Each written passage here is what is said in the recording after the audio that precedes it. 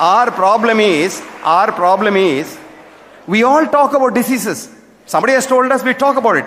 You are even telling hepatitis B vaccine. Do you know the real science behind hepatitis B vaccine? It is not required in India at all.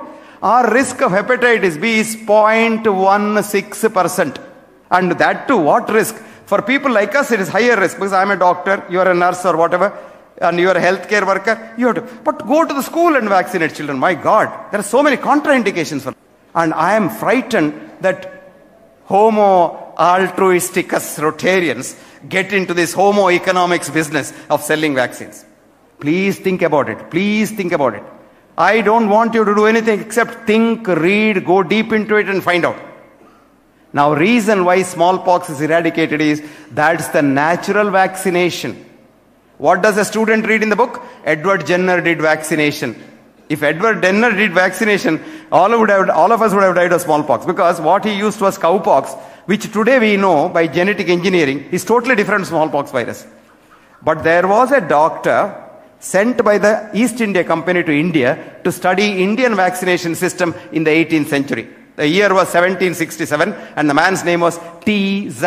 Holwell, H-O-L-W-E-L-L. He was an FRS, a scientist and an FRCP London. He came to India and went to Bengal and saw the beautiful Ayurvedic system of vaccination prevalent in the 17th century, 18th century.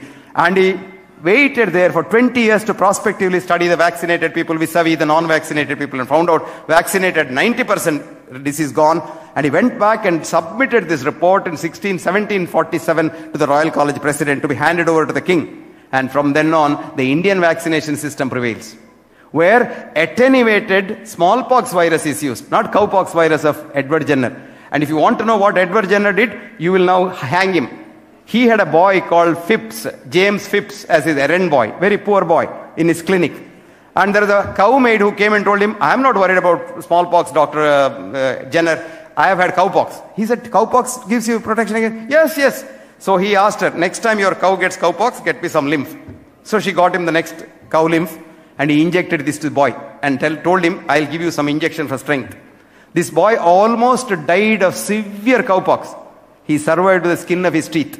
The minute he survived, this fellow injects him smallpox pus. Can you believe that? And he was lucky he survived. And that's vaccination. No, that's not vaccination. Know the truth. You go to the internet and say Indian vaccination system, and you will get all the details of what. See, this is what's happening.